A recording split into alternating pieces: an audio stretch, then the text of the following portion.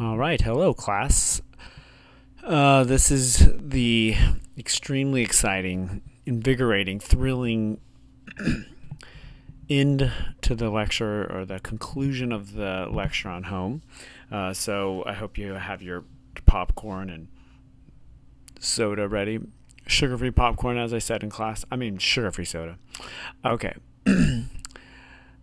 Last thing we talked about in class was. Uh, this this first site of the modern home where do we find it? We don't find it in the castles. We don't find it in the monasteries. We don't find it in the hovels of the poor. We find it in these burgeoning new free cities right? Uh, and uh, here on, on this slide you see we find it with this fourth class the burghers the bourgeoisie the, the bourgeois uh, the citizens um, and these figures arise only in these free towns. And as I said in class, free towns are these new urban agglomerations that emerge in the Middle Ages in Europe. They are a collection of merchants um, and craftspeople who are able to cobble together enough money to buy the right, really, uh, to form a city. They buy the right from the king, uh, from the uh, from the noble person who has the authority. They pay the money for the charter to start a city, and then they run the city themselves. Now, I said they had a couple different um, uh, pressures that caused these cities to be dense, right? That the charter was for a particular uh, bordered city, right? They weren't allowed to expand beyond a particular geographic border. And also, even if they could, uh, because of the limited means of transportation, it, it, wouldn't make sense to sprawl out that far, that um, you wanted to be near the city center. And so, residential and working uh, structures looked like this, right? They had three stories typically the first floor was either a store like place or a workshop. The second floor was either a workshop or storage. And then the third floor was home. Although not home like we know it, and right? We talked about it. We talked about how furniture uh, had many different uses. It was moved around, muebles, right? The mobiles, the movables. Um, and so your bed was also a seat, was also a table, uh, was also storage, and it would be moved around the room and used for different uh, different things. What we don't see in this early home, right? We don't see a lot of privacy. We don't see a lot of comfort or intimacy. We have security in the sense that you know protected you from the weather, and and these free towns uh, were um, relatively free from crime and invasion. Um, but uh, definitely not that homeliness that we uh, that uh, or all the characteristics of home that we listed on the blackboard in class on Friday. Right, so uh, we don't find the nuclear family here. We don't find comfort here. Uh, of course, there was a nuclear family there, but there were a lot more people. Plus, as we are going to see in a moment, there were other uh, particular factors that um, caused the nuclear family to be spread out, and so the nuclear family did not stick together in the way that we uh, think about the nuclear family sticking together today with the, the mother, father, uh, and children. Uh, we're going to talk about that in a moment. Uh, first, let's get a, uh, couple more looks at, at the inside of these these homes. Here's a woodcut of says here an interior of a kitchen, um, and this is in Tübingen, Tübingen um, in uh, the early 16th century. Uh, you, you, see, there's a lot of stuff going on inside this this this house. There's you know. You're butchering an animal. You're cooking a lot of food for a lot of people, right? Because there's a there are a lot of people that live in these in these homes and there's a lot of work going on there even in the living unit and here is another one from the same city of Tübingen.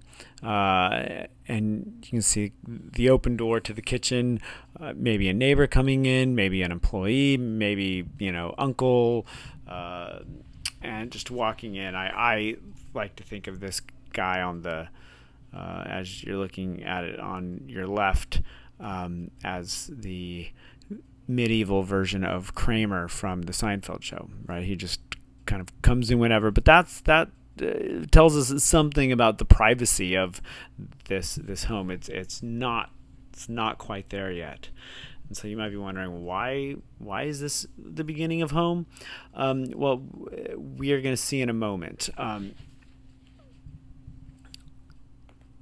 first, I, I want us to get a feel for for what the really important characteristics are that turn this scene right here into home in just a hundred, 150 years. Okay, because the, the the story that I the next part of the story that I want to tell is how we get from this scene here in 1518 to a scene in the same geographical region of northwestern Europe, particularly in the Netherlands, um, and how we get from uh, this sort of scene in 1518 to a scene in uh, the 1600s in the Netherlands, where we see home as we know it for the first time.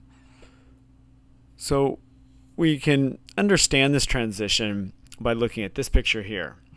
These are not Dutch uh, 17th uh, century uh, Dutch bourgeoisie, uh, city dwellers. This, of course, is The Simpsons. Everybody knows that. But I want us to think about what what in this picture is going to most alert us. This is going to stand out to us the most. That alerts us that this is not a uh, medieval household, right? Uh, what what here tips us off that we are we are not in the Middle Ages, but we are now in some sort of era in which the modern idea of home and home life uh, is is important and is well understood. Now, when I ask this question in class, usually the answers that I get are pretty obvious. You know, the the architecture of the home is very uh, is a very modern one because it's a single family house. It's a standalone home, right? It uh, it has a garage. Um, it's separated from other homes. Um, just the general architecture with uh, the placement of the doors and the windows and and the form of the, doors and the facade of the house. Uh, you'd also say there the clothing of the family as well. Um, but usually I'll have one or two students who are able to point out the key difference, right? The, the, the main thing that sets apart this picture here from every thing we know about the medieval residential unit for every single class. And that is the placement of the children. That here in this picture, the children are uh, well, there's one child directly in the middle. I believe that's Maggie, right? Um, Lisa and Bart are on the side, but Lisa and Bart are fully a part of the family. Uh, this this this here is the nuclear family, and this is uh, for or in modern Western culture, this is the most important social unit that we have, right? It's okay if you don't have a lot of strong friendships. It's okay if you don't get along with your extended family, but in modern Western society, this is the single most important social unit with which you should have strong bonds, right? And and uh, and we, as we are going to see, it is this unit that gets most closely connected to the home, and particularly uh, childhood is key to this transition. We're going to look at um, uh, medieval representation here of a noble family. Here you can see the husband and the wife. Um, I don't know if you know this is a king and a queen, um, you know, pr- prince and princess, uh, a duke and what is it, duchess. Um, but they are certainly nobility. There's no doubt, and uh, we can see here in this representation they are um, they are expressing to the viewer their status, their power, and their importance, right? Um, and the thing that I like to point out here, besides uh, you know the fact that there are dogs here, there's there's always seems to be dogs in these types of pictures, and, and as we are going to see, um, dogs were part of um, a lot of art and uh, or a lot of uh, art representing residential scenes in Europe, not only in the Middle Ages but in uh, the Renaissance and early modern period. So the thing that I like to point out here is uh, the children. Are there children in this picture? Typically, when I ask this question in class, students say yes. And then I ask, what are the children doing? And as you'll see, there are four children. Let me see if I can get um, a pointer. Oh, darn it. Okay, guys, I need to figure out if I can go back. Oh, no. Show navigator. Sorry. I was to see if I could get a, a pointer going here where I could point out things. Okay. Um, look at the middle of the page. and you'll see four children one with a flute one with something that looks like a violin or a guitar um, and then two uh, at the sides of the table i don't know if they're cleaning up or if they're cutting the food uh, or you know the one on our left and the one on our right appears to be pouring drinks right?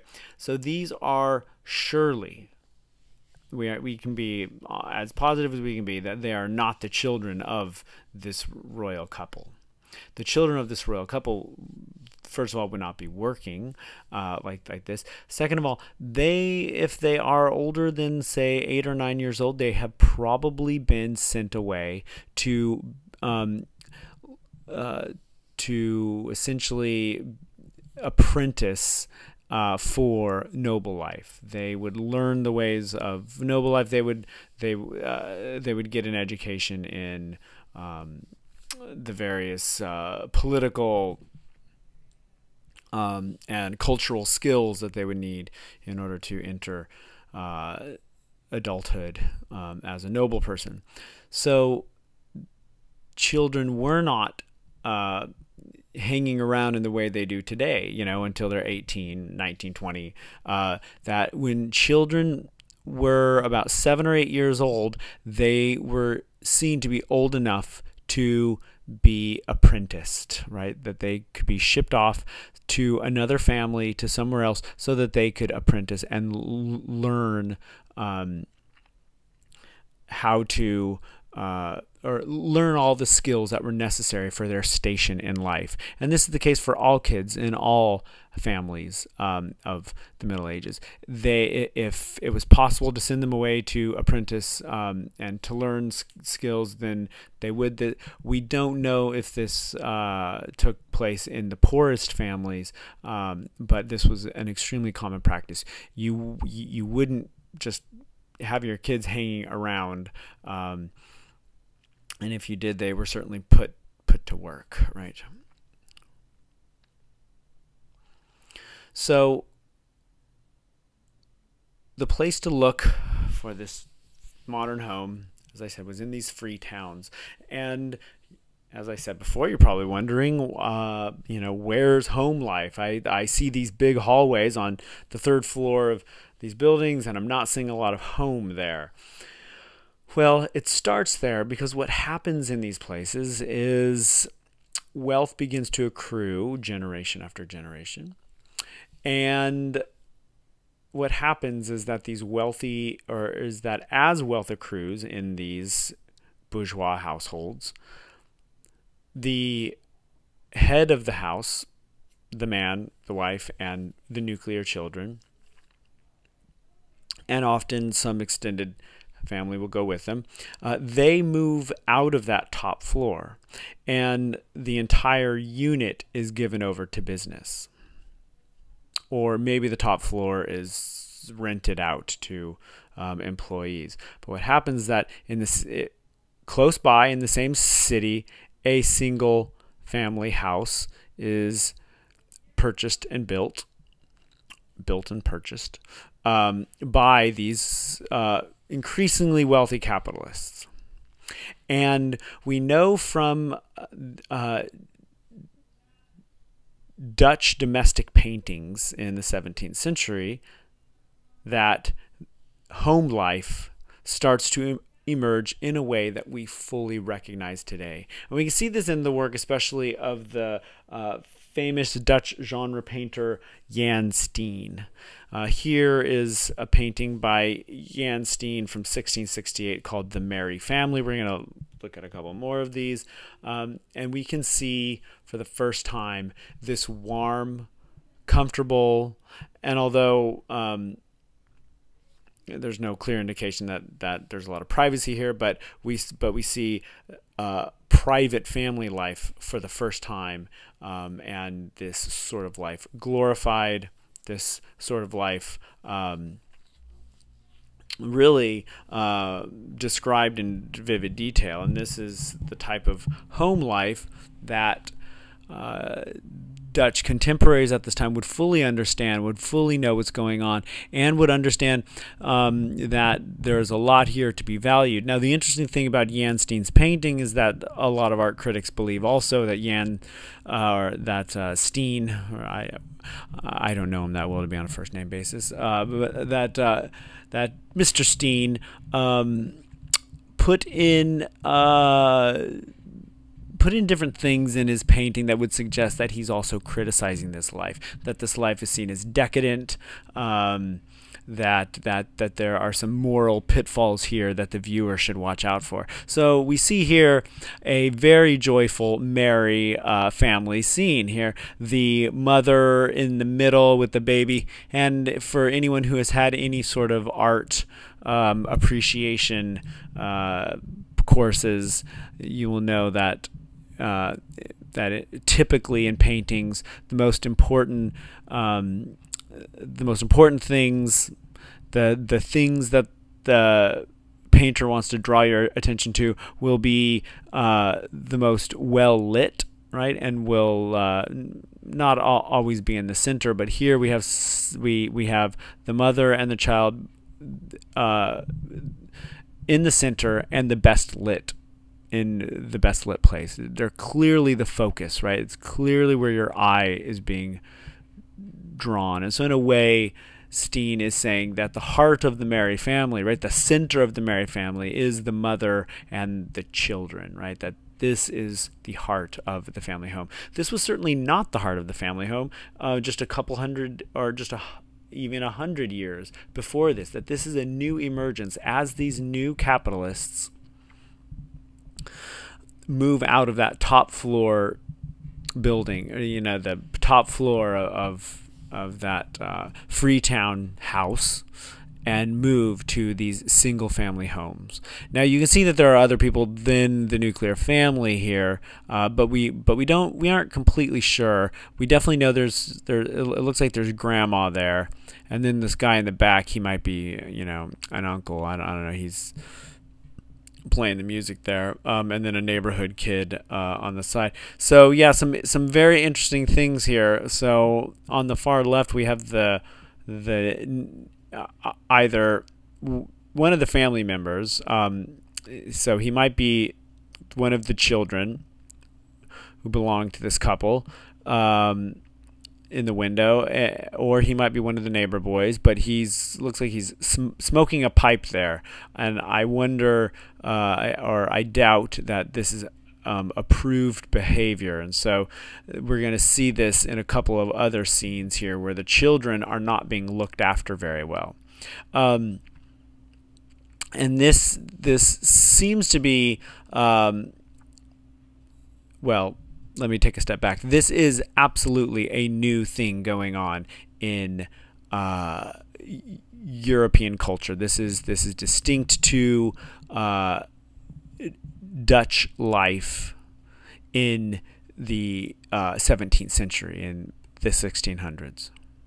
Okay, so we know from letters that uh, visitors to the Netherlands wrote back home. You know, so uh, British visitors who are visiting the Netherlands on business, whether it's political or economic business, um, will write home that uh, uh, how how appalling domestic life is, how appalling these homes are um, of the Dutch, that they are overrun with kids and and uh, the the the kids are kind of the center of attention and um, the kids are kind of a source of entertainment and uh, visitors would find this appalling because before this kids while of course children were valued because they're the next generation there's i mean we, we can we can see some obvious reasons why parents and older generations would value the continued existence of younger generations, but they children did not have the same emotional uh, importance attached to them. The idea that children are special, um, that are that they are emotionally special. The idea that we should coddle them and and and and care very deeply about them, and then also the idea that they are cute, and the idea that that you know we we that we could uh, we could enjoy ourselves by simply observing children play, right? This idea is not strange to us, but it was certainly strange to other Europeans at this time. Um, that when they came to these Dutch houses and they saw this sort of thing occurring, they didn't know what to make of it, and they thought it was it, it, it, uh, that it was strange, that it was decadent. Um, uh, and um, and it was something to be avoided. Um, so so this is this is the first major transition towards the creation of the home. And so I have down here, I've, I've uh, five things that I want to point out that were major forces in the transition to the modern home. So this first one is the work family separation. So remember in these early Dutch town houses there was no work family separation. And in uh, the uh, the abodes of these other uh, of people in these other classes also there was no work uh, family separation. I mean, it, with the monastery, we didn't have a family at all, but um, but work and home were the same thing, and and, uh, so this this is the first time that we see work explicitly separated from home life. This work family separation extremely key. And so what happens is that in the in the home, in the family home, what we have is a sort of specialized sphere of domestic life that we eh, do not see before this. This is a distinctly modern invention. And one of the most important aspects of this modern life is the child, or is rather childhood. The idea of childhood as something valuable, as something important, as something to be cared for, as something to be held on to. Okay, this is the first time we see this. Before, you know, um, from a lot of the historical records, we don't uh, we don't even see children mentioned uh, until they are two or three years old, because chances are they would pass away before then, right? So childhood is before this time is very different. Of course, children are valued, you know, in uh, for very obvious uh, practical material reasons, they will carry on um, the lineage and they will grow up to be workers who will support the family and, and, and so they they are important. So I don't want to give give the idea that adults just simply didn't care about their their, their kids. But before this, kids um, kids were seen in a much more practical way that we're not going to worry about them until they're old enough that we're sure they're going to live, you know, two or three years old. And then after that, um, they are certainly not seen as important individuals until they can work for themselves, until they can be contributing members to um, the family or to some other family, right? So and, until they can be sent out um, as apprentices.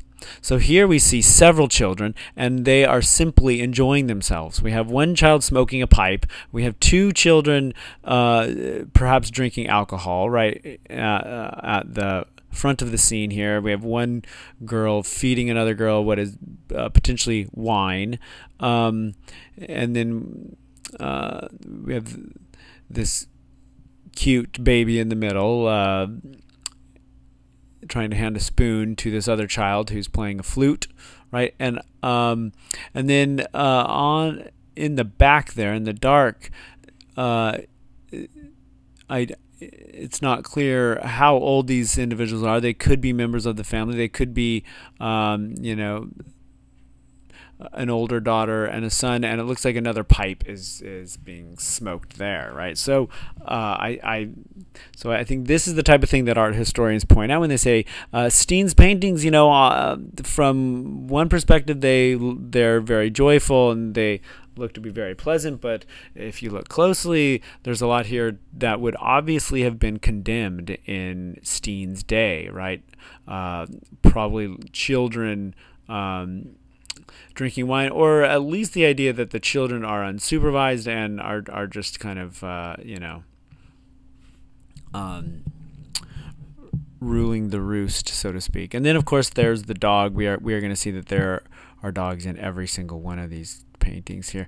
Here's another one uh, by Steen. This is from 1663, five years before the previous one. This one is called Die Verkeerd Welt, uh, which means uh, topsy-turvy world. The topsy-turvy world. Welt means world. Um, and uh, and so here we have another domestic scene here. This looks to be the dining room. Again, one of the important things we see de uh, developing here are the specialized rooms in these houses, right? So these families have moved out of these large halls and now in these new homes, they have now specialized rooms. Okay, so this appears to be the dining room. And then you look at the, the room next door um, has a fire, perhaps it's a kitchen. Um, down on the floor, you see a pig there. Um, and as I said, there's a dog in every scene. There's a dog here on the table eating off of uh, off of a big plate. Um, we see a duck on top of uh, this old man. I uh, so it's it's um, it's not totally clear to me uh, who is who here we have an uh, an older woman who's asleep. We might say, okay, so he, this is the mother of the household. Um, in this case, the uh, two central figures here uh, the young woman and the young man. Uh, the young woman, we can guess, is probably the daughter of the mother who's asleep. And uh, then the young man is her boyfriend. And you can imagine there's some things going on while the mother is asleep. You can see uh, the young woman's hand uh, very close to the young man's um, uh, private areas, uh, right? So, so this is um, certainly meant to be suggestive. Um, and uh, there's a party going on there. There's, uh, but also we we have uh, what are perhaps two religious figures as well in the background, and they seem to be arguing over perhaps arg arguing over script scripture, um, but nobody seems to care, right? That it, um, the mother's asleep, the daughter and her boyfriend are just enjoying themselves. He seems to be kind of turning his head towards the two religious figures and sort of um, scoffing at them, laughing at them. And there's this figure in the back who's playing a violin. Uh, we have children kind of. Uh, again, they're ruling the roost. They are they are not being disciplined. They are not being put to work. They are not being kept out of sight. They are very much in sight. Uh, we have a baby in uh, what what appears to be a 17th century high chair. I didn't know before this painting that they uh, had made high chairs, but this is almost surely a Dutch invention, right? You, you can imagine that before this, um, uh, you know, that no family would imagine having a special, a specialized piece of furniture just for a baby to sit at for the table. Um, so the baby uh, is not being watched. Uh, we have a child in the back who looks to be getting into some dinnerware. It's, it's probably going to be breaking things soon enough. Um, and then this other child, again with the pipe smoking. It looks like this child's uh, smoking a, a pipe. The floor is very cluttered and dirty. Right. But the idea is that domestic life is this intimate, private, um, joyful experience, right? It's uh, you don't need to worry that everything is uh, pristine and clean. You you you don't uh, you don't need to worry um, about making maximum use of space, right? You have a little bit more more space than all of the people crammed into that big hall.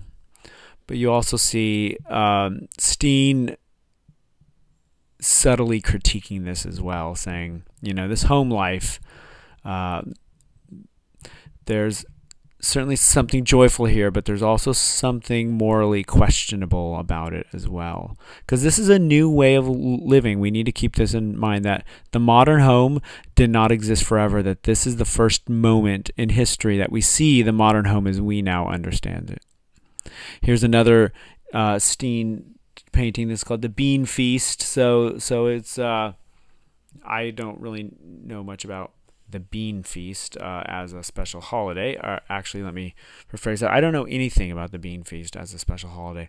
Um, but it appears to be some, um, you know, rather important holiday. We have all the family members over to the house, and um, and you see this the idea of comfort and familial intimacy and joy um, around the home is uh, highlighted here and very important. And again, you see where the light is pointing? Where where is the eye immediately drawn? It is drawn to here to the mother. Here it is drawn to the mother in the scene, and where are her eyes pointed but to the child, right? So we go from the mother to the child, and again we have a child drinking. You know, in these paintings, the child is either drinking or smoking, right? Um, and again, we have a dog and again, we have a cluttered floor. We have pots and pans on the floor, and we also have broken eggshells. Um, and then, excuse me.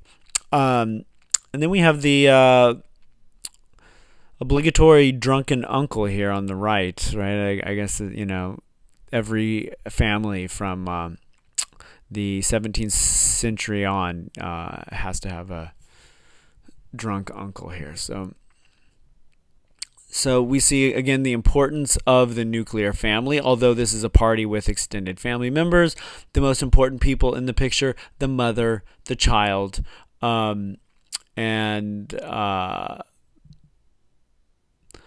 we're not exactly sure uh, if the father is the drunk uncle or if the father is this other uh, man in the middle back back here with the black shirt. Um, right, but everyone seems to be having a great time. And again, the message here is ambiguous. On the one hand, it's clearly home life is very joyful. Um, it's, and is very comfortable. I mean, this is a scene that you do want to be a part of. But at the same time, there are little things in here that would suggest that Steen is also um, criticizing this. But the main point here that I wanted to make is that here we see for the first time the separation of work and family life. Now, work and family become separate spaces or places, whatever you want to say. It, it doesn't matter. They become separate locations, right? They become separate, specialized locations. And what this means in the history of modern workspaces and modern home spaces is that they begin to take on uh, extreme forms that express their internal logic, right? The internal logic of the workspace is efficiency, is calculation, um, is maximizing production, right? And so workspaces came to more and more reflect these logics.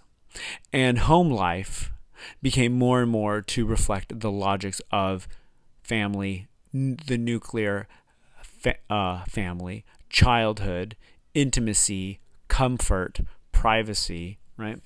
And so these spaces, as they specialize, they start to e- express in very um, in very explicit ways these uh, these uh, you these values that are unique these specialized spaces.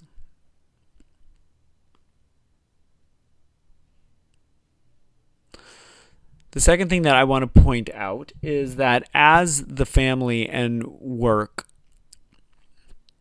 as family spaces and workspaces become specialized and separated, we also see another important separation occurring, and that is um, the separation of society from the family uh, or the public world. What does this include? Well, we can see this in a painting like the one I have up here. This is from the mid 1800s in the US.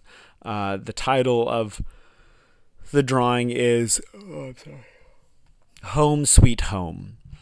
Um, and it was part of a series of um, drawings that were mass produced in the mid 1800s in the US that families could purchase and then put up, they would purchase frame and put up in their homes. So these these were meant to be uh, put up in these new American homes, and we can say now, as uh, critical, I'm sorry, cultural analysts or critical cultural analysts, that these paintings were really meant to um, tell a story about what home life should be to these new Americans who were starting these homes for the first time. Right in, in the mid 1800s, uh, it is not. You know, most of these homes are being started by uh, by individuals who did not grow up in a home like this. Right, they might have grown up in some uh, rural farm. Uh, they might have grown up in uh, you know uh, in in some uh, rural hovel that uh, included several families, included you know a bunch of other people, and you know and was much closer to that uh, hut or hovel of the medieval poor than it was to the modern home. And so these new American homes in the 1800s. Um, there was an explicit concern by the American elite at the time that that the that the individuals, these uh, newly middle class Americans, had to be taught how to construct home uh, and how to con- how how to build and think about home life. So these paintings were uh, very important objects in this regard. So here's one, and uh, it's entitled "Home Sweet Home," and we can see uh, the importance of the society family split right here in this painting. And the idea here, the main one is is is that, um, or the first one that I like to point out is the male female split. Right, that the woman is uh, in charge of the home life and uh, it is up to the male to engage in public social life. And so we can see all the important things of public social life in this painting. And so I often ask um, when I'm giving this lecture live in front of students, I ask them to tell me what sorts of binaries are represented in this painting. And oftentimes we see, well, here, here's we see work and family life is a big one, male and female, um, and we can see in this painting is it's very clear what they uh, how they want to do this divide because not only is city life off in the background, but it is separated from the home by a big river, right? So the the uh, the message is very clear that all these aspects of public life. It's not just work, right? It's it's it's work, politics, uh, institutional religion. Now, the home was supposed to be certainly a site of religious activity, but not institutional religion, and men were in charge of institutional religion. So we have institutional religion, work, politics, um, and any sort of public cultural activity, right? Uh, the theater, museum, all that stuff, right? So all that stuff is across the river away from home life, and it is women and children that should be at home.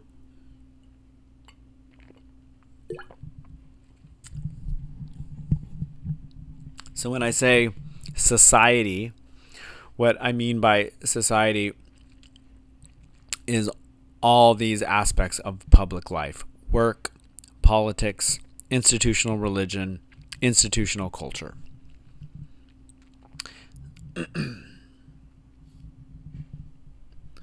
the other thing we start to see with the creation of the modern home, or a, a very important impetus in the creation of the modern home, is the increased free free time that is created by an increase in wealth.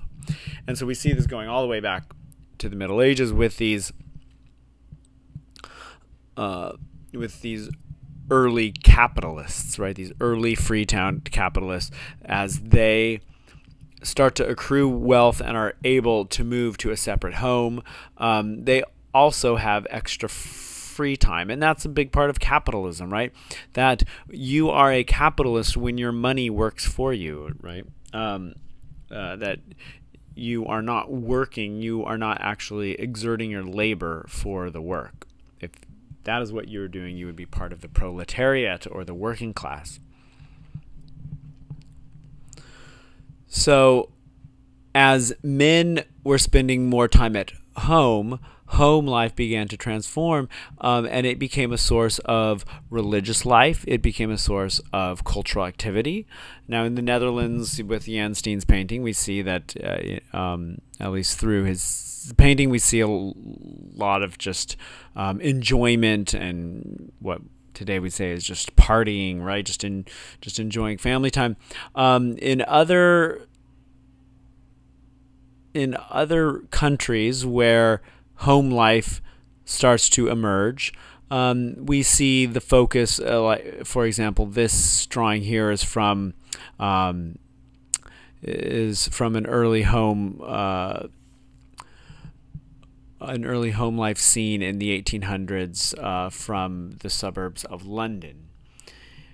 And so we see the family singing, and uh, we can imagine that uh, at least what would be promoted in uh, 19th century London uh, or 19th century England is religious hymns, right? And so the children would be taught religious hymns. There would also be Bible study time and prayer time, and uh, um, and the home life was seen as as very important in safeguarding one's spirituality and one's Christian salvation. But with this increased wealth and, and increased free time, the home becomes the center of life for not just of course for men and I mean not just of course for women and children but for men as well. Home becomes the center of life. Number 4 with the um, what we see happening as work and family life becomes separate, as family life becomes more important, as free time increases. Um, we start to see at the same time a greater appreciation for the role that women and children play in life. And uh, this kind of comes hand in hand with um, the emergence of democratic philosophy and democratic theory, uh, democratic ideas, and one of the, um, of course, most important parts of uh, democratic philosophy, one of the most important aspects is the idea that all men are created equal. Um, of course, uh, that there therein lies the rub that is all men, but uh, introducing this idea that if uh, that each individual is unique and valuable in his or her own right. That there is nothing a person needs to do to achieve uh, basic human rights. Now, this idea takes a long time to work out, and even though it's articulated in uh, the 1700s, um, of course, it takes a long time to work out. Um, even though in the U.S., um, African Americans uh, get the right to vote uh, in the 1860s, and women get the right to vote in 1919. Um, uh, it takes a long time for um, for these democratic ideals to play out. But historians argue that what we see emerging in the modern home alongside these democratic ideals is a greater appreciation for the humanity of women and children.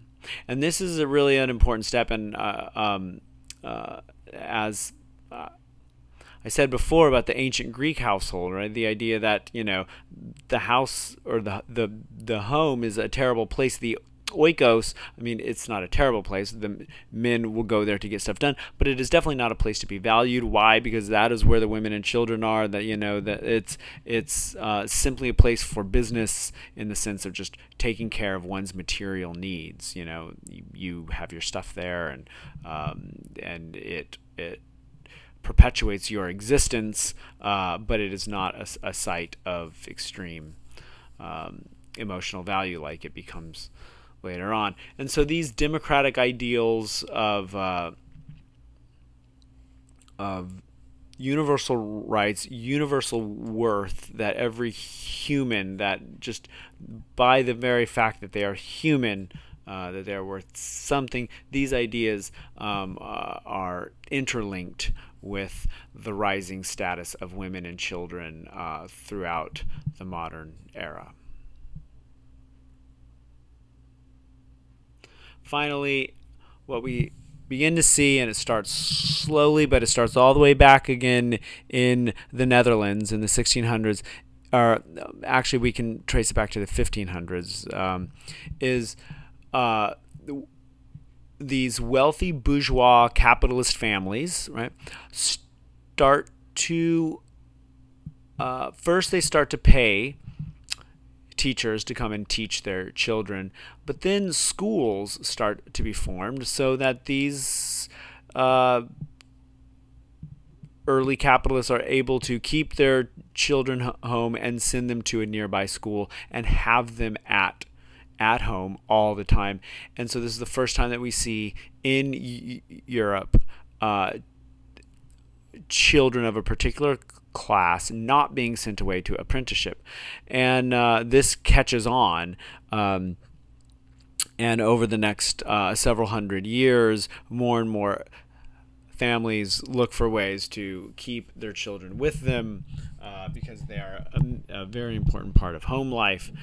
Um, and send these children to school. Apprenticeship is phased out, and what's interesting is that apprenticeship um, hangs around though for a long time after the 1600s, um, uh, but it hangs on in two particular classes: the extremely uh, I was going to say the extremely rich, but I don't, I, don't want to think just in terms of income or wealth. Uh, but it hangs on in the um, aristocratic classes, right? So for nobility, um, apprentice, the idea of apprenticeship and the practice hangs on. And then also for very poor working class individuals as well, children are still sent to learn a trade as early as possible, right? To go live with another family, learn that trade and earn their keep with another family. So this hangs on. But in the middle class and in the rising capitalist classes, um, this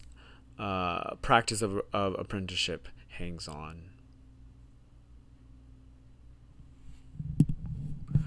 All right, so I want to look at now uh, a couple of issues that arise with the modern home. So, as we see with Jan Steen, there are, of course, many uh, enjoyable, laudable aspects of home life. It looks really nice, but at the same time, this is a new spatial and social cultural sphere of life that emerges. This is something new, and Europeans are figuring out how to deal with it. And so by the 1800s, um, there starts to solidify two different camps, two different philosophical, political perspectives on the home.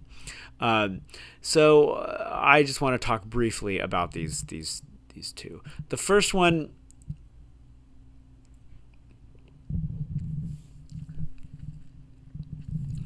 sees the home from an what we are going to call an individualistic perspective, right? So here I'd say it's the individualist meaning of home life.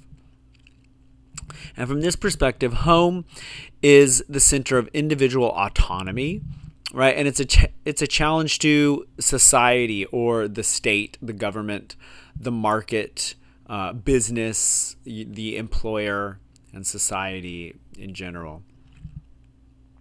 Um, and so here, home emerges as something very, very important. It emerges as a place where the individual um, is protected. And we're going to see that this is uh, certainly a. Um, uh,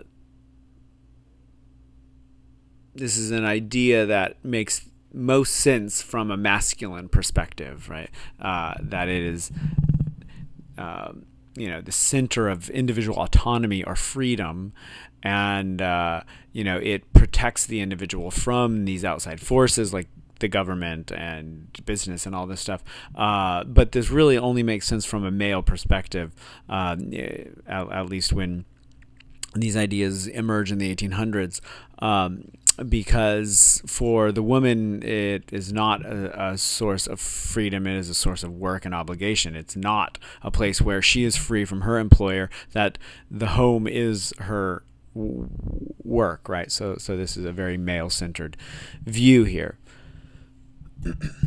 Um, but you can see from this male view that home life is is very important because here this is the one place where the employer cannot you know demand every ounce of your labor.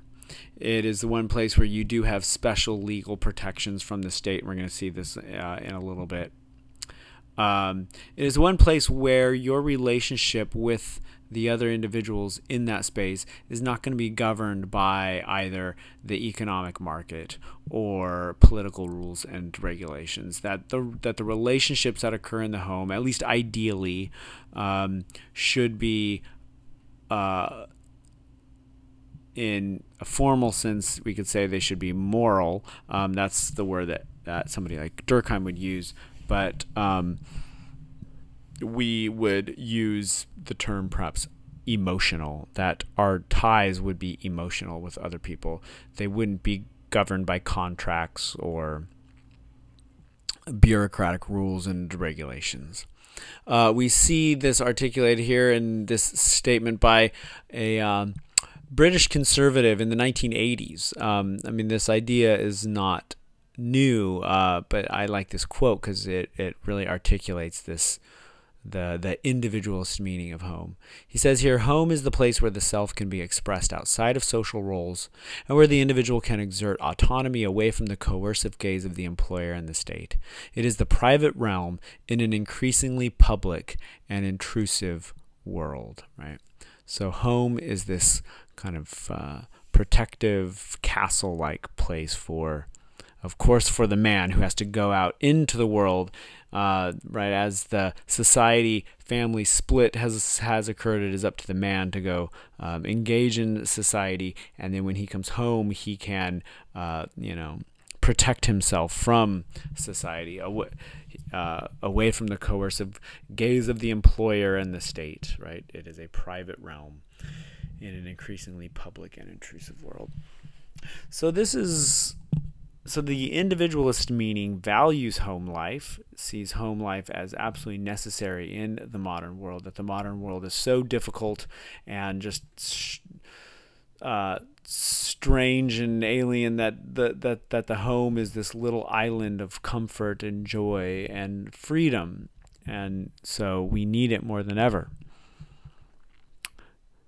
the other side, which this side this this side of the debate clearly is lost. Um, it's a little bit more difficult to really intuitively understand what's going on here, but the idea itself shouldn't shouldn't be that hard. But it's the idea that home life takes individuals, and when we say individuals, we're talking about men, um, away from the larger community. That the more that men become involved in home life, the less they are involved in their local municipality and local politics and local uh, religious institutions, uh, in local trade unions, um, you know, whatever the case may be. Uh, home life has taken men away and has uh, has gotten them involved in uh, what from Benjamin Disraeli's perspective, who was a 19th century conservative British politician, he uh, they, that you know it, it is putting men in uh, uh um, a realm of very small stakes. You know, if a man if a, a, man spends too much time with his wife and children, he you know he's wasting his his talents and abilities. That this is this is not the proper realm for man for for men. And you can see uh, the lineage of this idea goes all the way back to ancient Greece. So Benjamin Disraeli talking about home, he says it's a barbarous idea right? What's the opposite of barbarous? It's civilized, right? If you if you want to be a, a tr truly civilized man, then you will not be caught up in the uh, temptations of home life, right? Um, so home is the method of a rude age, um, right? An age that that lacks sophistication and manners. And when he says here it's the method, he means um, it is the way of doing things in a rude age, in an age you know that that that lacks intelligence, refinement, and all of that.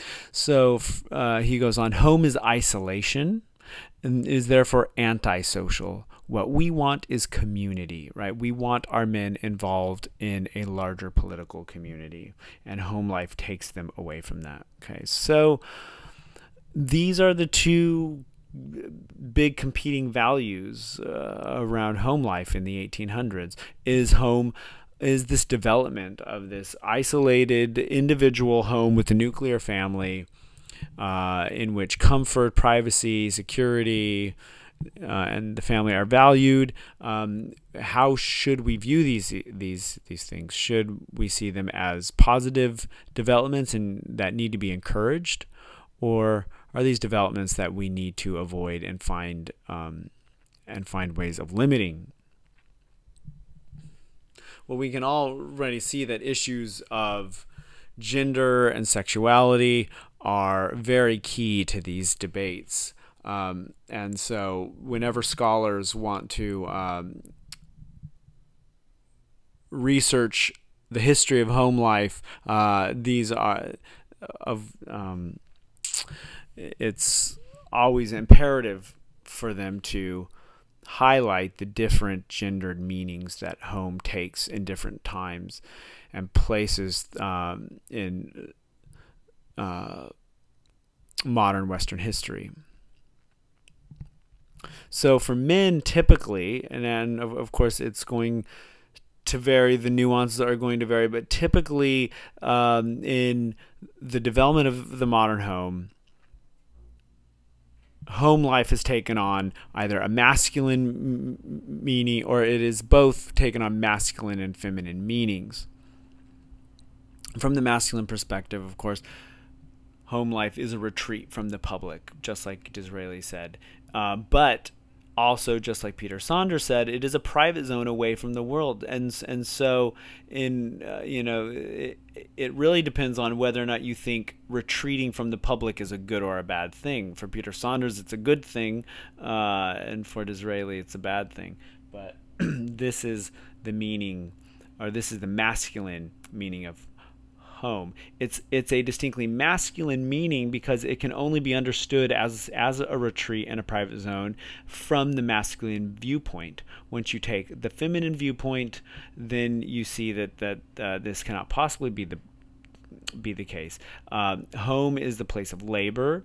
Home is not a, not some private zone where you know relaxation and contemplation occurs, right? It is a place of labor, confinement, potentially abuse and neglect, right? But also, um, and several historians and researchers of home are quick to point this out, that we shouldn't think about the home strictly as, uh, or we shouldn't think about the feminine meaning of home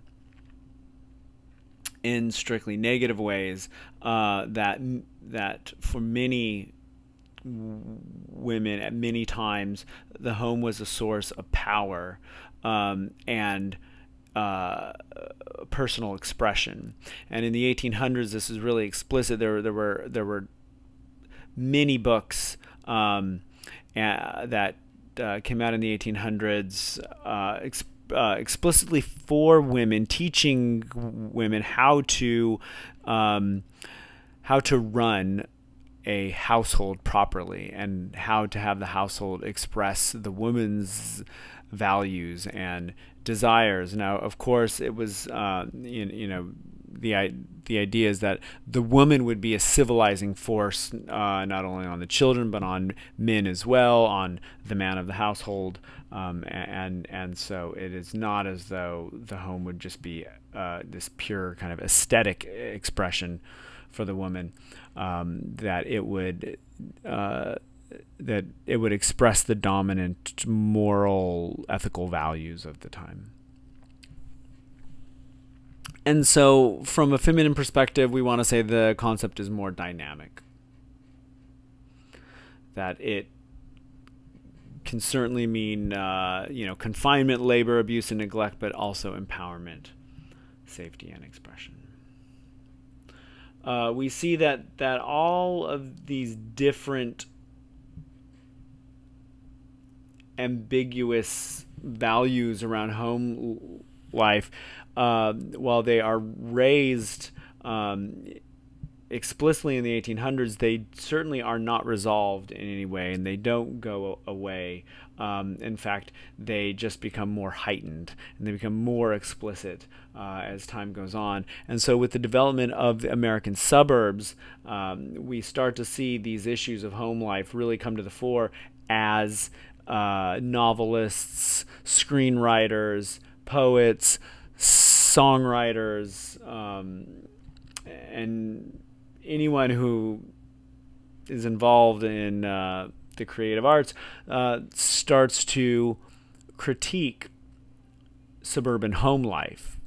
And as we're going to see when we go over the suburbs, uh, home, the suburban home is really the most extreme version of home life that we start to see uh, all the way back in the 1600s in the Netherlands. All the things that we see there uh, uh, get played out, but in just more extreme ways in the suburban home life. So we can see this this um, ambivalent or rather we can see the ambivalence that both men and women have towards home life in a scene that I'm going to play. Let's see. I, I, I don't know if this will work on the video. If I can play a video in a, in a video here, but um, this is uh, from the television show Mad Men. This is from the first or second season. I don't remember which.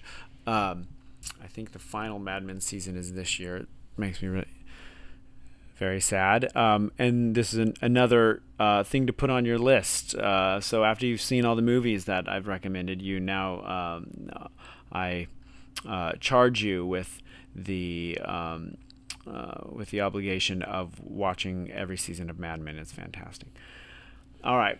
Uh, so this scene is one where the man is coming home from a long day's work. Here we see clearly the work life, the work family separation, the society family separation. The man coming home from work, the uh, home life being the domain of the woman, um, and the resentment that both feel about this situation. Right. Okay. You're home early. It's Good Friday. How did it go? Didn't.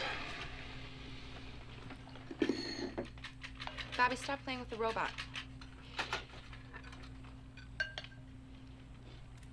Do you want to talk about it? No. How was your day? My father called. He's doing better. He and William played golf yesterday. William made a show of paying for it. Bobby, what did I just say? Accident. You don't listen. Don, do something.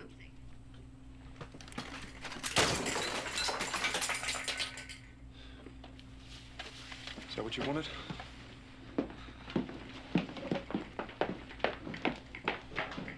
Take no responsibility for anything that goes on in this house. Pay the bills, clothes on your back, damn stables.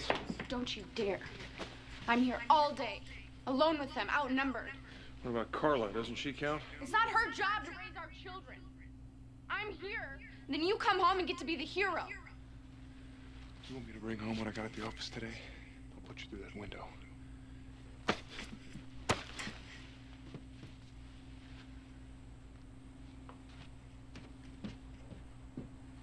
Brush your teeth. It's bedtime.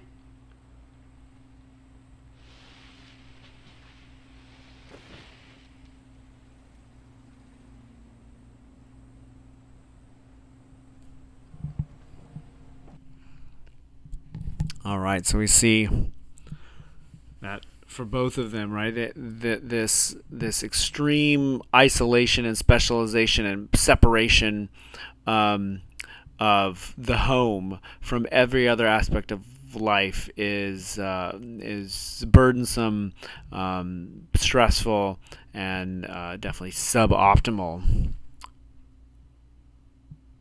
So we see that from the 1600s on that we have a bunch of different things becoming uh, now here I say synonymous but we should say that they they they they, they start to become fused. I think I, I like that better uh, I like that way of stating the problem uh, that the modern house family and home become fused. We we can't pull them apart right? We once could um, analytically at least uh, right? We could go back to ancient Greece and say, well, home is the city, right? Is the city state.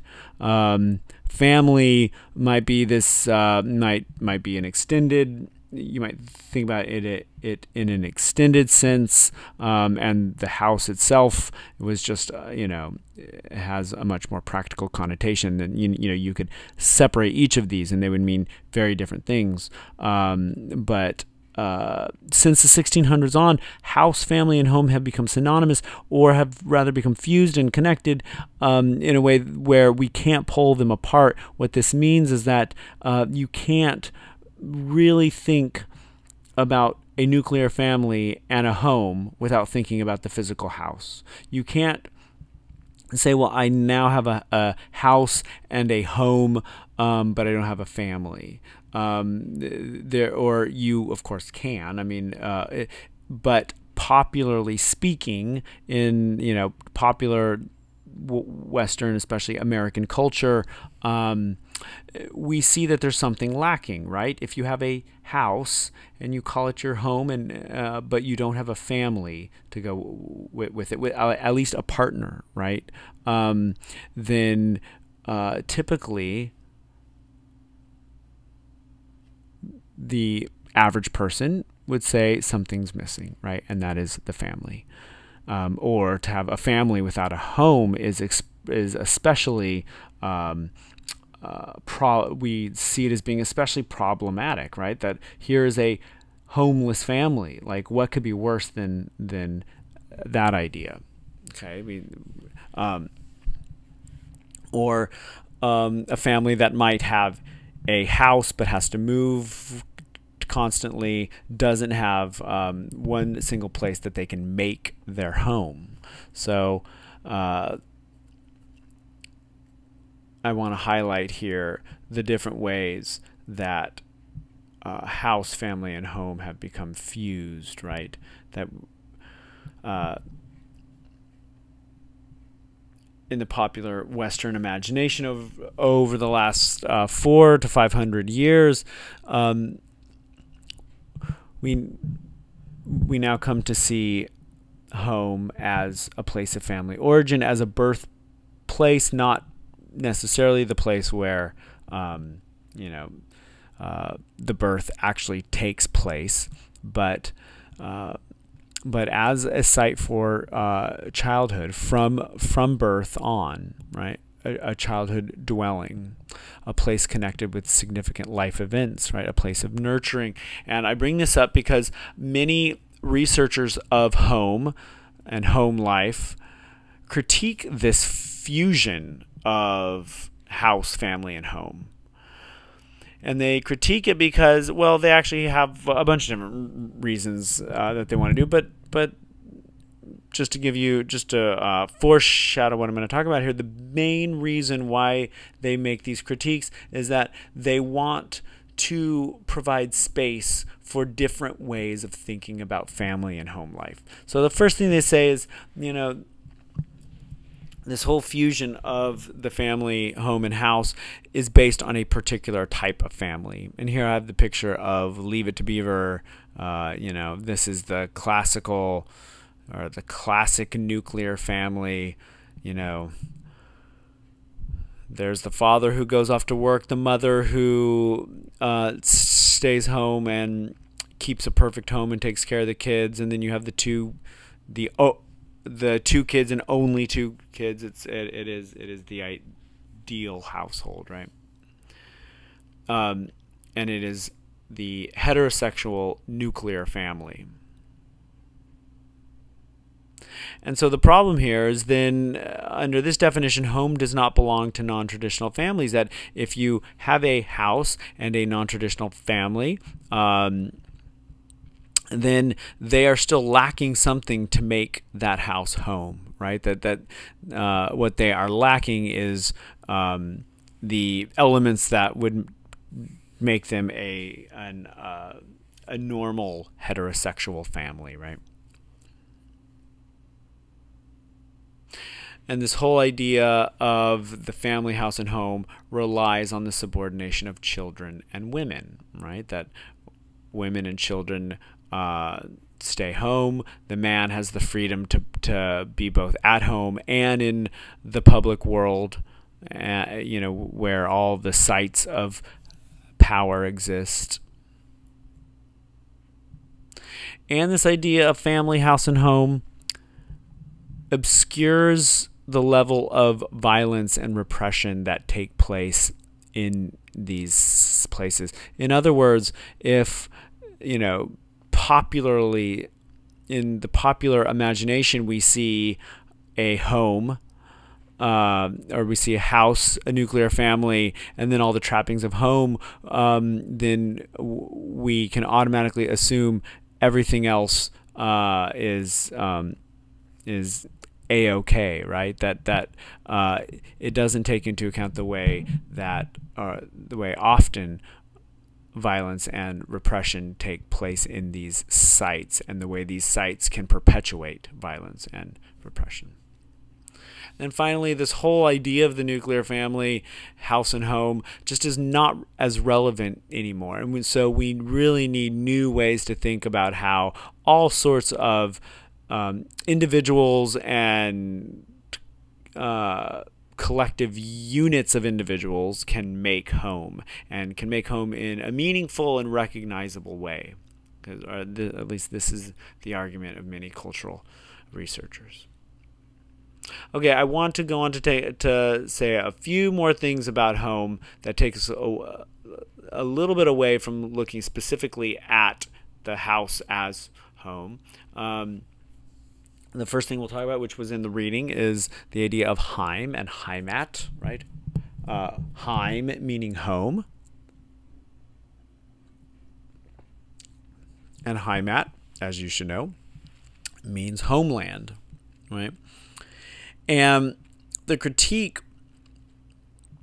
around using home in this politically charged way is that what it does is it encourages people to think about the nation as being one big household, right? And so up here I have the the idealized household then is connected to the idealized nation. That when we use home and homeland, or in German, Heim and Heimat, uh, what we are doing is we're saying the ideal country like if you know if we think about the way we want to have our country we want to have it work just like the ideal household right that that is implicit at least that's what many argue is implicit in the use of the word home in talking about um, one's country so home and homeland or Heim and Heimat. These are these are problematic because we're saying our country should work just like a perfect household, or rather, a perfect country would, would work just like a perfect household. And as we've seen, the perfect household, the ideal household, is a nuclear family. And when I'm lecturing on this, I like to ask students what is the power structure of the ideal nuclear family in a house and home. And typically, students are pretty quick to answer. Uh, well, it's the father's in charge, right? The mother uh, comes next, and uh, the mother has some uh, basic level uh, responsibilities and authority in regard to the children and the household, but the final say, the final word uh, is spoken by the man, right? So, um, and, and so then I ask, well, how does this relate to politics? What sort of political um, uh, structure would most accurately um, represent this. And uh, often students will say, well, it sounds kind of like a monarchy, right? Or, or, um, or a dictatorship um, where there there is one supreme powerful figure at top the father, the king, the dictator.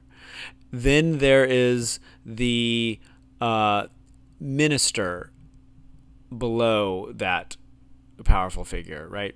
We could say the prime minister, who, uh, in the most pure form of the prime minister, this person is supposed to minister the will that that that is um, uh, is supposed to follow through on the will of the master, right?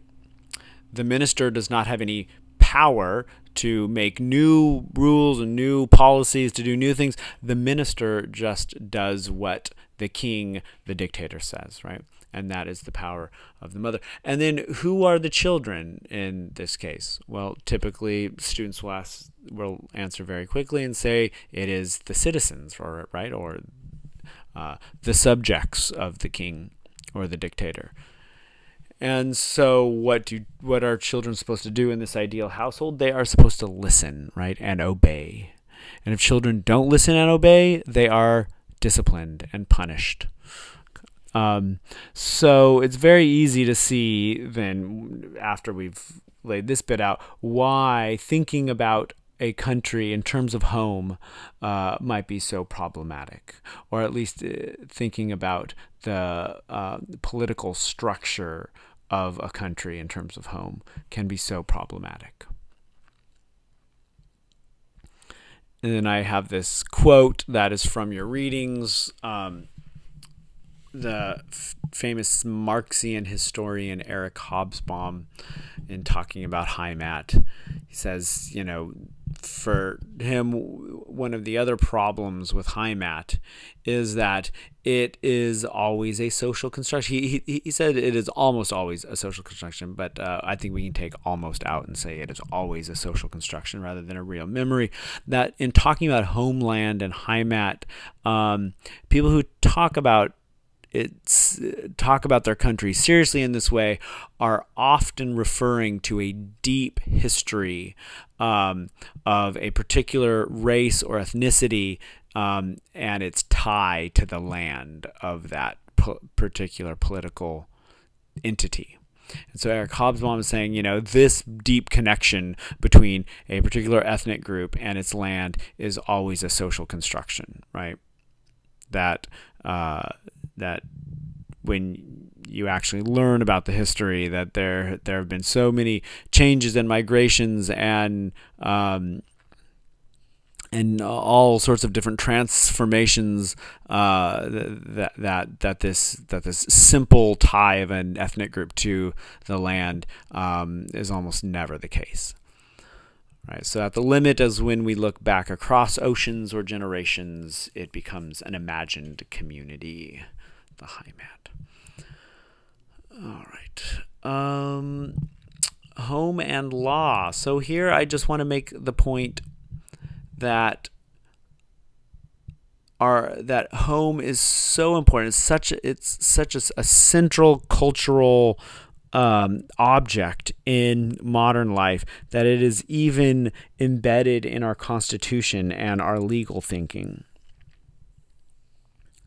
the special legal status of home life um, is uh, we can link it all the way back to ancient Rome with the Emperor Justinian, um, uh, who talked about the individual residential units of um, Roman citizens as uh, as um, requiring certain legal safeguards. That, in other words, you know, uh, the police can't just barge in, and, and, so this idea starts in ancient Rome, um, but it does not uh, become um, solidified here until the uh, well, we first start to see it uh, articulated again in the 1600s in um, English law, but then it becomes very important. So I have Hobbes and Locke here. You, you don't need to know any of these names. In fact, uh, this whole slide, um, I the only reason that I have it in, in, in here is because I just think it's very interesting.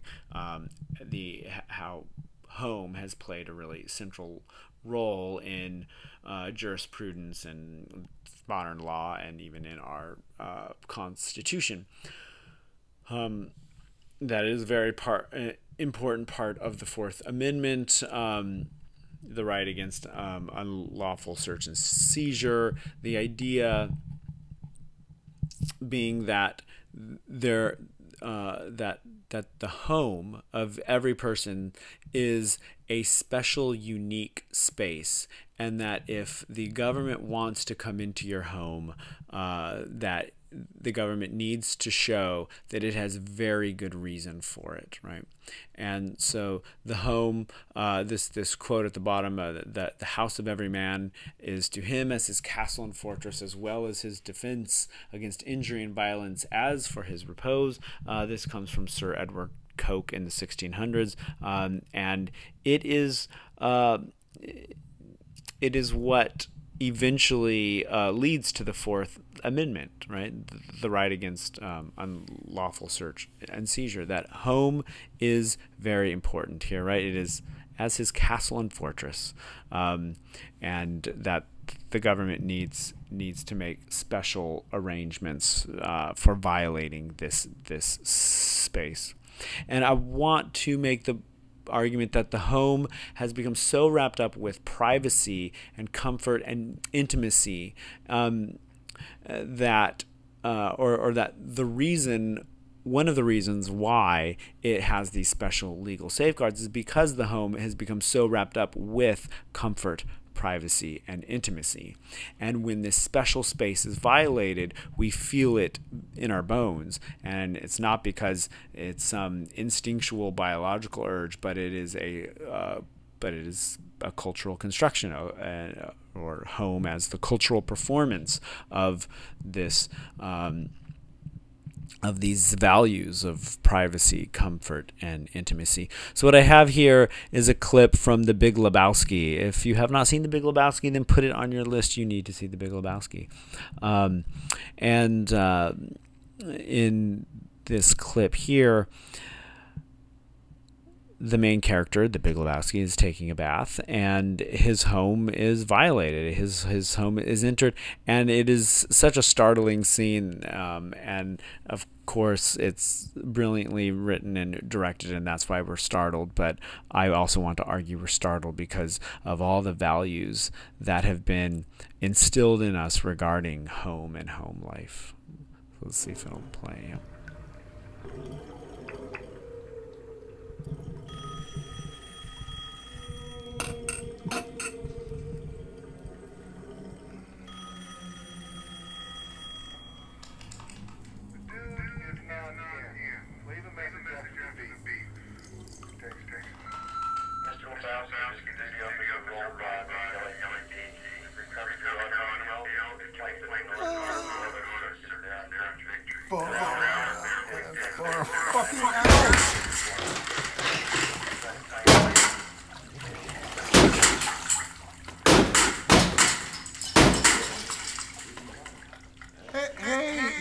private, private residence, residence, man. man.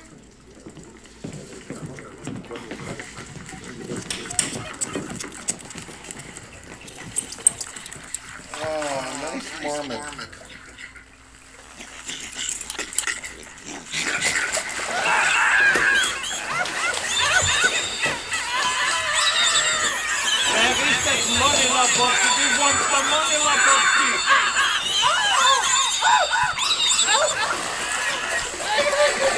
You think we are kidding?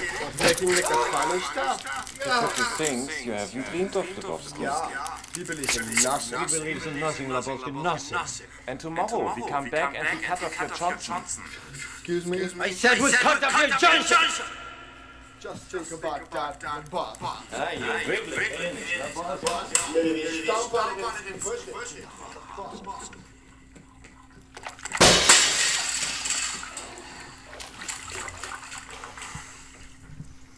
It was discussed. So my favorite part of that clip is when he says, "Hey, man, this is a private residence, right?" So, yeah, the idea, you know, this is this is this is a a home. You have now entered a home. This is not where you should be. All right.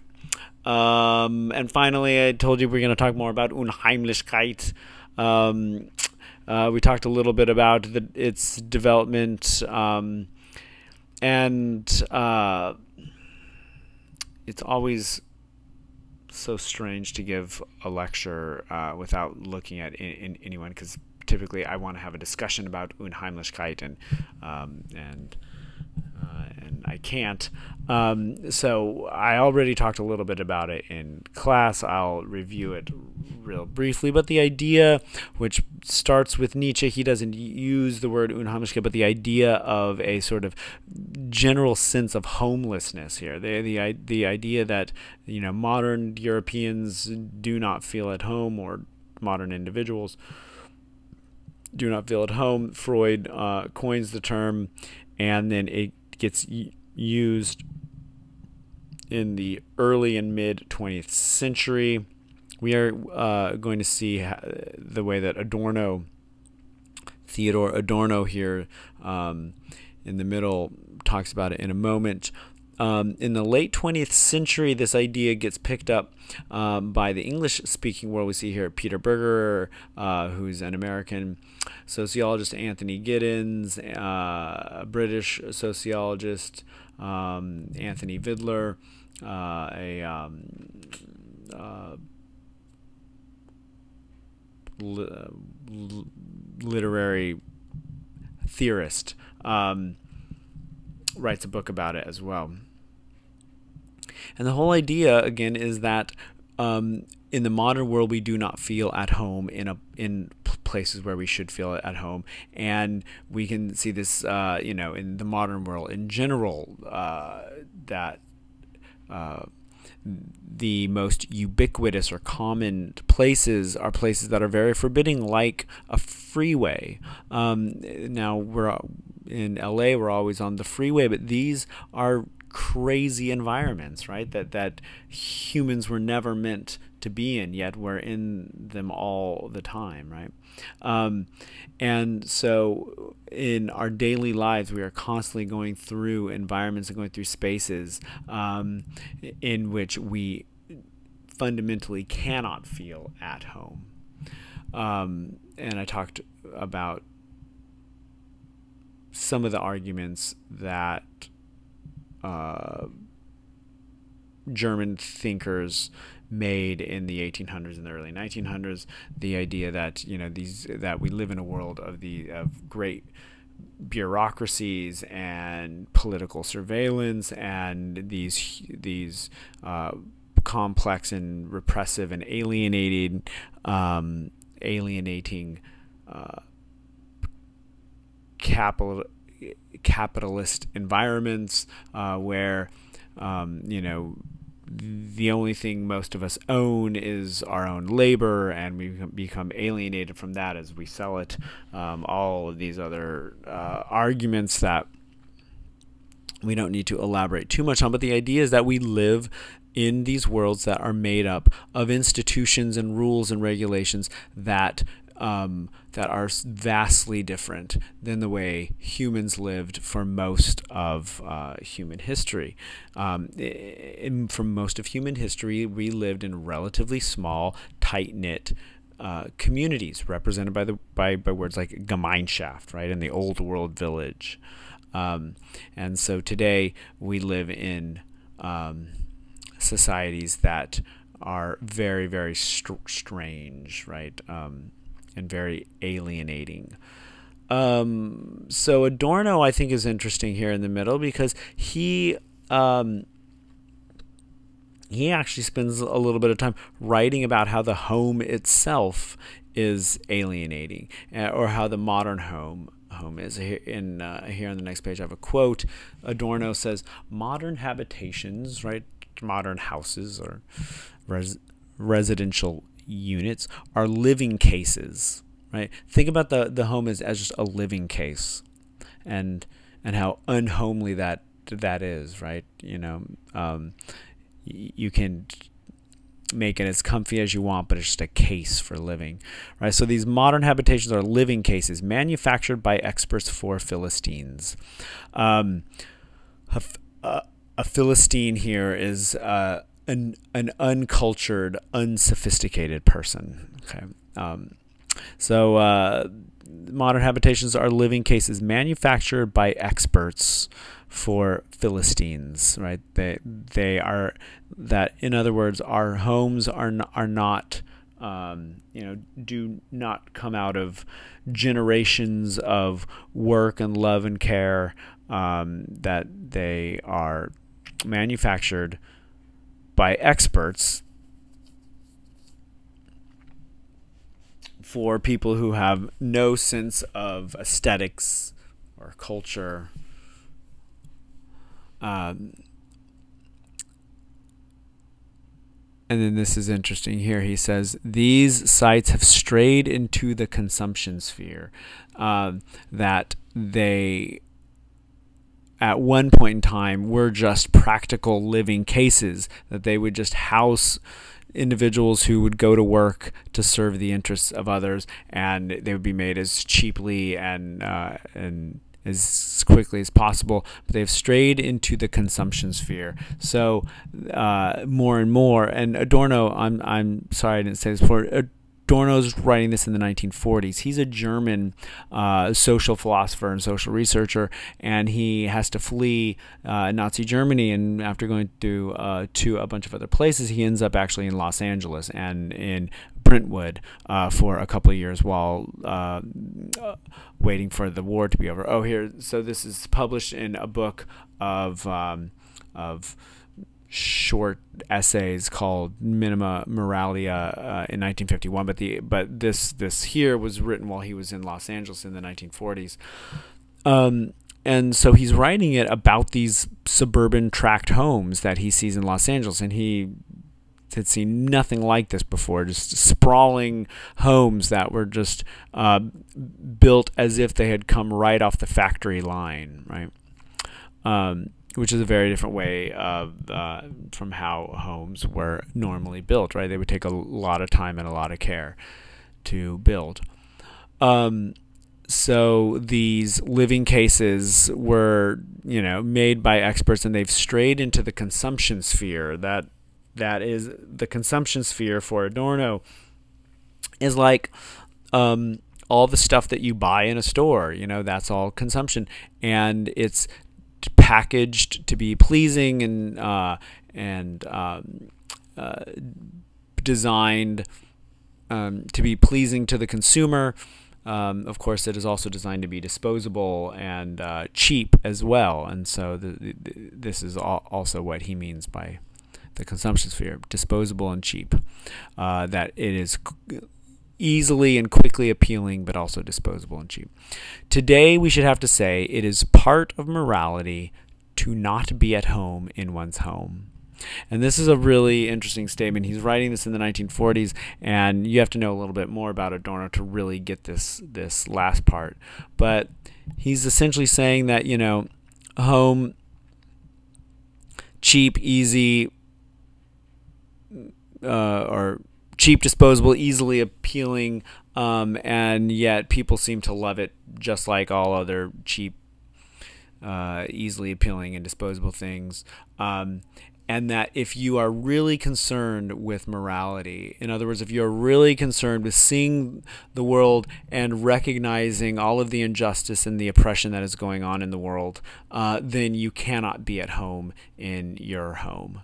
That if that, that if you're truly at home in your in in in these in these cheap terrible living cases, then you have just shut yourself off from uh, so much, and you have in fact just chosen a lie over uh, the reality. And, and, and Adorno writes more about this, uh, especially being in Los Angeles during World War II and, and, and, and how ignorant so many people were or how they, they simply didn't want to know what was going on in the rest of the world at the time. So to be at home in one's home um, is an immoral act, right? To that if you don't feel unhomeliness, then you have shut yourself off from something real and from something much much bigger, right?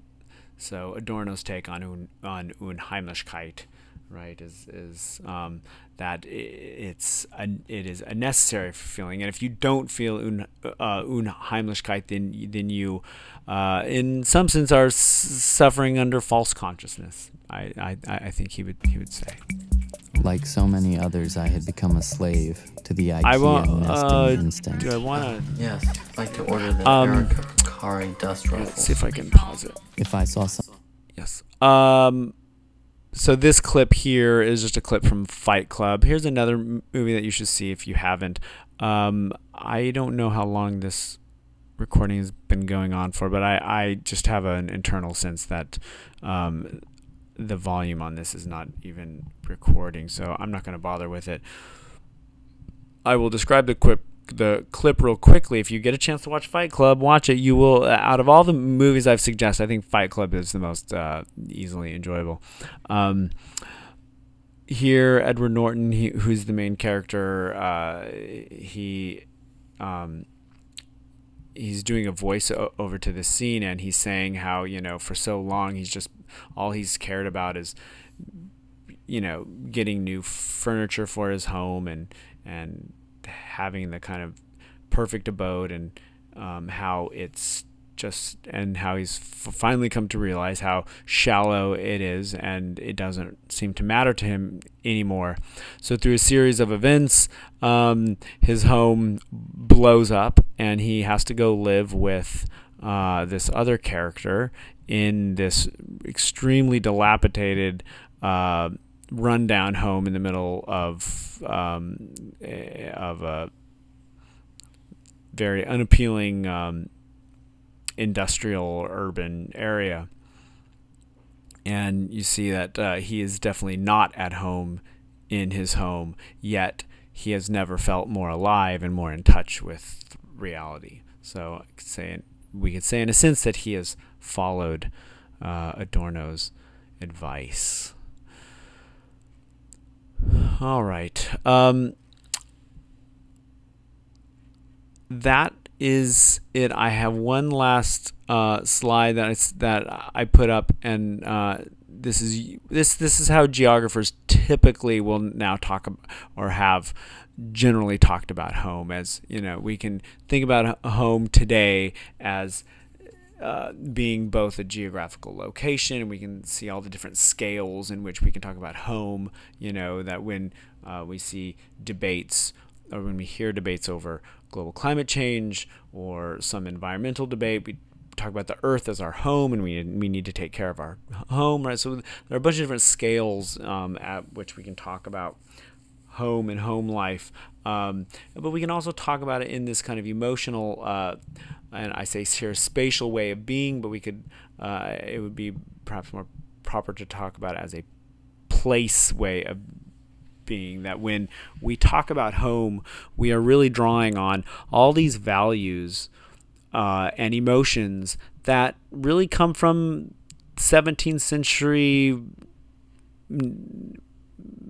Netherlands, right? That I mean, it, it comes from these free towns and where um, and and this early separation between family and work life and family and society and home life starts to take on all of these very intense emotional meanings and emotional values, right? So family, community, um, commu- well, not community in the Disraeli sense of the term, but um, a community in the sense of of the the extremely tight knit relationships that are built and maintained through uh, family life, a sense of order, a sense of taken for grantedness, um, right? The idea that that in your home or or, or that the the ideal home is one in which you don't need to explain yourself to everyone else in the home, right? That you are